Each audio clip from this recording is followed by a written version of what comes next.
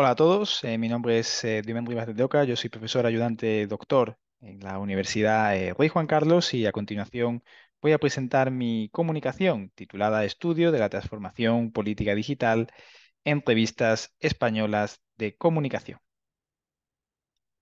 Este estudio nace de la preocupación por, por mapear eh, cuáles son las principales contribuciones acerca de comunicación política durante los últimos años en las principales eh, revistas españolas de comunicación. En primer lugar, me gustaría eh, destacar que la política como tema se ha convertido en los últimos años en un asunto esencial de la producción académica en comunicación y que tiene una notable eh, presencia de acuerdo a los estudios eh, ya publicados en el contexto no solo español, sino en el ámbito eh, de la península, de la península ibérica. Esto se debe en buena parte a un auge de las tecnologías digitales, en particular las plataformas y las redes sociales, y el papel que han jugado muy importante en la aparición de nuevos partidos singularmente en España. Todo ello sucedió a la vez que tuvo lugar una crisis, una fuerte crisis institucional, una crisis eh, del modelo político, y explica buena parte de la atención que se ha dirigido por parte de la academia hacia las estrategias comunicativas de los actores políticos. Pero además, eh, toda esta transformación digital eh, ha llevado a un sistema híbrido en, el cual hay una pérdida del monopolio informativo de los medios y también motiva es una reconfiguración de la esfera pública.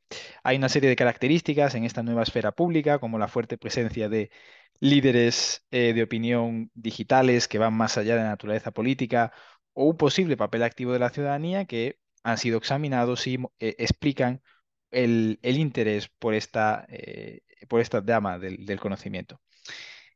Hay un, gran dinamismo en cuanto a los estudios de la comunicación política digital, y es algo que vamos eh, a analizar en, este estudio, pero eh, a su vez se perciben en los estudios de comunicación en general en España pues una cierta estandarización de las, de las publicaciones, derivadas en buena parte por una enorme presión por publicar, por la adopción de lógicas científicas que no son propias de las ciencias sociales o, de las humanidades, sino que eh, proceden de las ciencias puras eh, y todo eso, pues, también eh, conecta y está enlazado con una enorme precariedad de los investigadores que existe en el caso, en el caso español.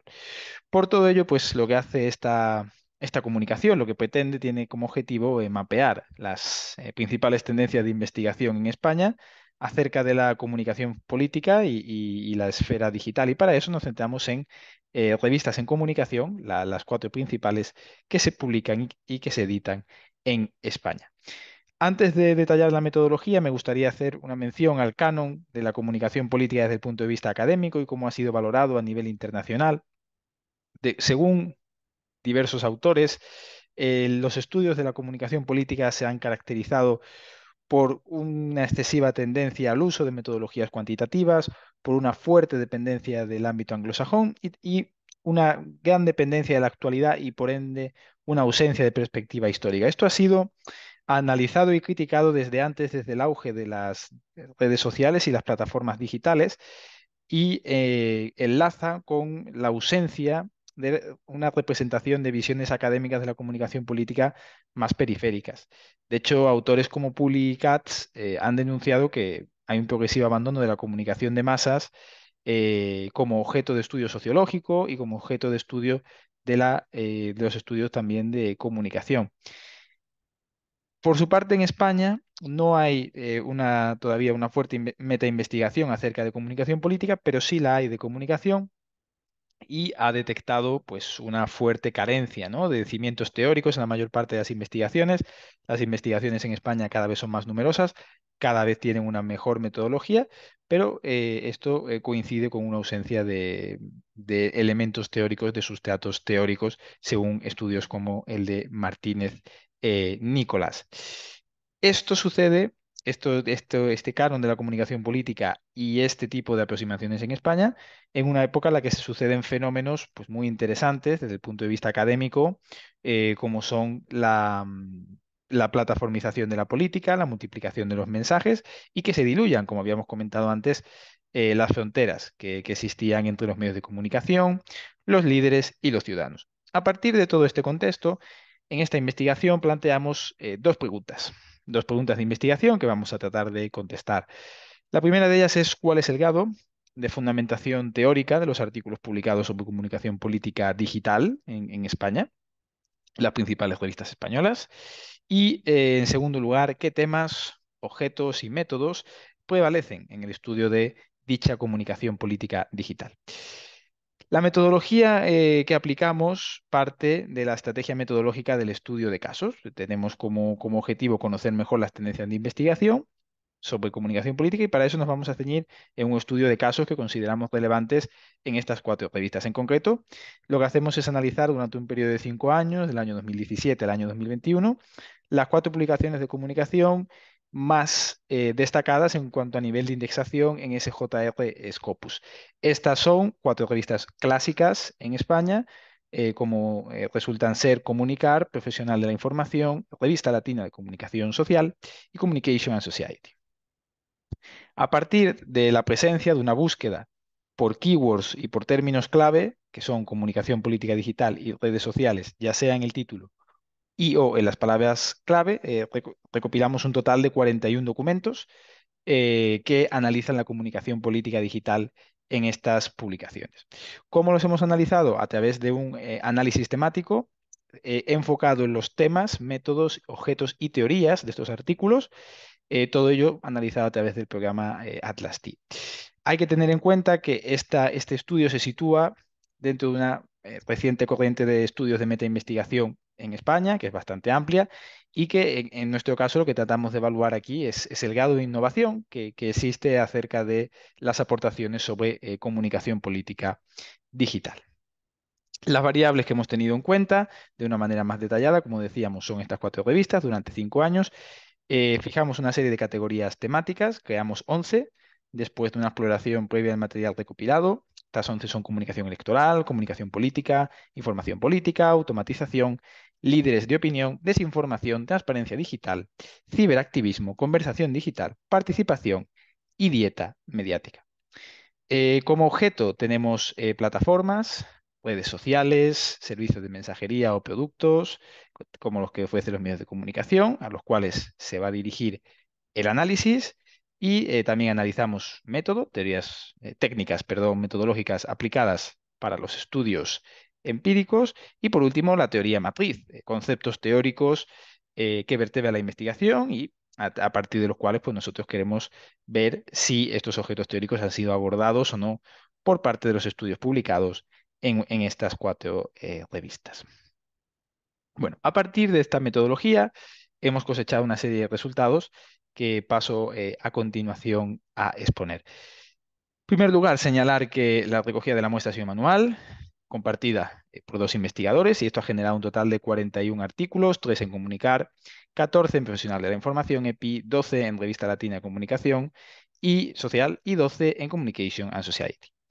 El volumen eh, de estudios sobre comunicación política en España se ha mantenido relativamente estable eh, en el marco temporal. Ha tenido un máximo, un pico entre el año 2019 y 2020 con 10, pero son cifras bastante parecidas al 17 y al 18.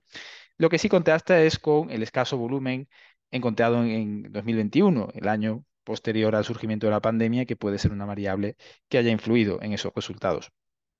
Y cabe señalar que, por ejemplo, en Comunicar, que es la revista que menos artículos publica de la muestra, eh, pues eh, todas las publicaciones analizadas, que han sido tres, versan sobre comunicación populista y dos de ellos específicamente acerca del uso específico que Donald Trump eh, efectuaba de las herramientas digitales.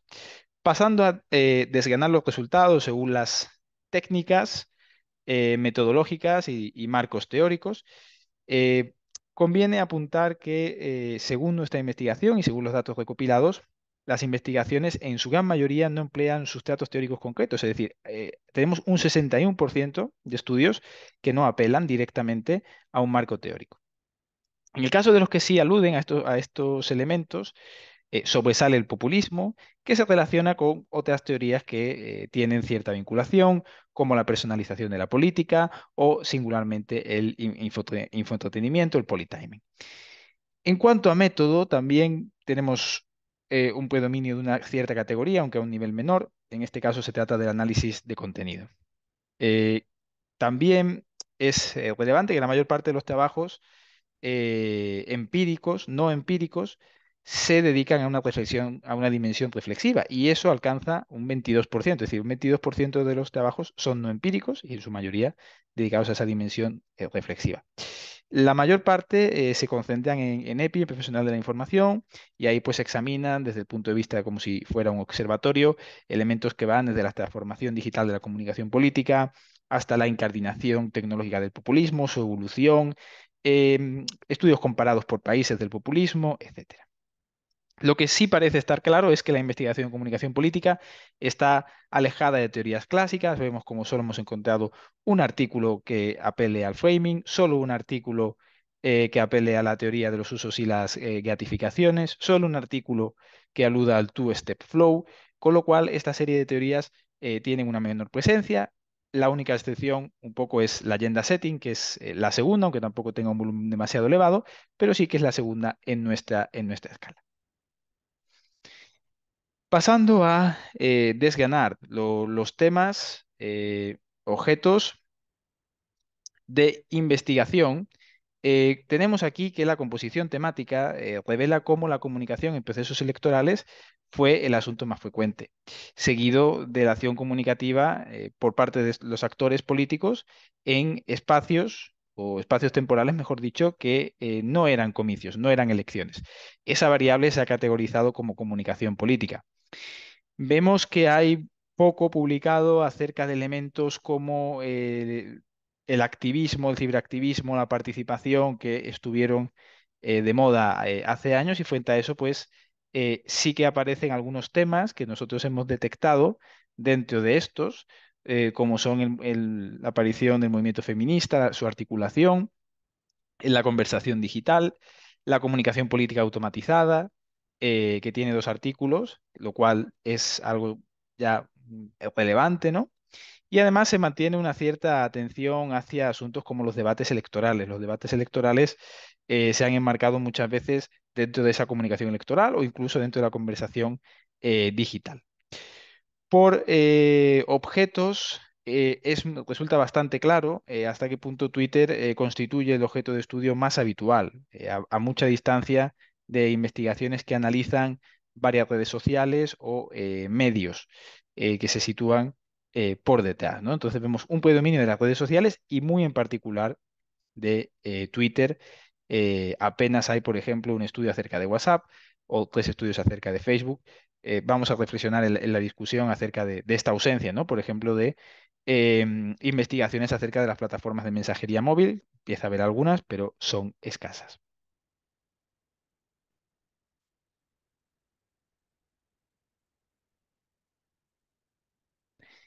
A continuación, eh, tenemos eh, otra serie de datos que nos van a resultar de interés, además de eh, una nube de palabras generada a partir de estos resultados. como habíamos mencionado, Twitter se erige en, la red social más interesante para los investigadores y que luego bueno, aparece en los medios de comunicación. Esto está en consonancia al peso que tiene la información política como temática, si lo vinculamos, ese 9,8%. Como habíamos comentado antes, las publicaciones sobre redes sociales como Facebook no son tan frecuentes. En ese sentido, eh, carecemos de suficientes investigaciones, como veníamos diciendo, acerca de los servicios de mensajería instantánea, a la vez que eh, aspectos como los blogs, que tuvieron un importante peso político, pues han eh, desaparecido. Si hacemos una nube de palabras que hemos generado a través de Atlas-T, de todos estos artículos, vemos que hay una centralidad ¿no? de los términos comunicación, política, eh, redes sociales.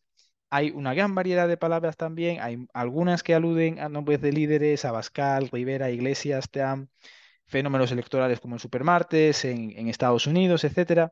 Y vemos que la gran mayoría tienen que ver con comicios, ¿no? Tienen que ver con elecciones, que son el elemento esencial en torno al cual se organiza esta comunicación política, que son los dos términos más habituales. A partir de todos estos resultados llegamos a una serie de conclusiones ¿no? que buscan eh, responder a las preguntas de investigación que aquí nos hemos planteado. Eh, está claro que hay eh, una atención creciente a, las redes sociales y al populismo y en este sentido nuestro manuscrito ofrece dos conclusiones interrelacionadas que responden a las preguntas de investigación. Eh, en primer lugar, eh, la primera contribución es que el grado de fundamentación de la comunicación política digital es bajo en las principales revistas españolas. Esto eh, conecta con que el corpus teórico no esté claro en buena parte de los artículos y que cuando aparezca lo haga de manera superficial, aunque se mantienen algunas teorías de un perfil medio como la agenda setting. Y nuestra segunda contribución en relación a eh, la otra pregunta de investigación es que la acción comunicativa de políticos populistas y las elecciones ocupan una posición privilegiada como tema. Las redes sociales eh, suelen ser un objeto de estudio para estos asuntos, pero específicamente Twitter, ¿no? Y hay una gran diferencia con el, el volumen dedicado a las otras plataformas. En general, los resultados pues indican que la comunicación política digital es un campo científico dinámico, es decir, se produce eh, bastante ¿no? en, el, periodo seleccionado, si lo, si lo comparamos seguramente con otras temáticas, pero a su vez es fragmentado en cuanto a que eh, hay diversas temáticas, pero muy enfocadas a un análisis de contenido y a Twitter. Estamos hablando de revistas bien indexadas, las cuales los artículos de reflexión han sido una excepción, ¿no? Que solo aparecían en una de ellas. Esto no significa que los autores olviden de estos problemas, ¿no? El populismo, las redes sociales, la desinformación. Todos ellos son problemas muy actuales que han sido abordados, pero normalmente casi siempre desde una perspectiva metodológica, eh, de, una, perspectiva empírica, obviando un poco la discusión epistemológica que hay detrás de todo eso. Conviene plantearse en este sentido hasta qué punto todos esos temas eh, se han analizado porque hay una preocupación, un compromiso social sincero o, vienen derivados un poco por una presión por publicar o por un interés en un momento temporal muy específico. Sin duda, el ritmo que tiene la, la comunicación política actual es frenético, hay numerosos cambios, pero hay fenómenos que, probablemente no disten demasiado, no disten demasiado de los que existían en otras épocas. Por eso, un poco el planteamiento final que, que tenemos es que las investigaciones futuras tienen ante sí el desafío de profundizar en estos cambios, pero también a la vez determinar si todo este auge de la meta-investigación que existe en España al final contribuye a que haya mayores acervos teóricos y unas contribuciones más sosegadas en el tiempo y que tengan un mayor eh, acervo, como decíamos, a nivel teórico. Y nada más, esta ha sido nuestra comunicación. Muchísimas gracias por su atención. Eh, quedo disponible para cualquier eh, cuestión o duda a través de, del foro de, del Congreso y, de nuevo, muchísimas gracias por su tiempo.